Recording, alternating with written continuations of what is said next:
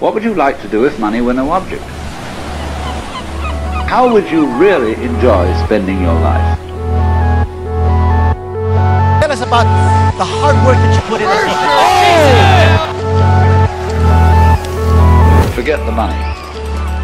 Uh, because if you say that getting the money is the most important thing, you will spend your life completely wasting your time.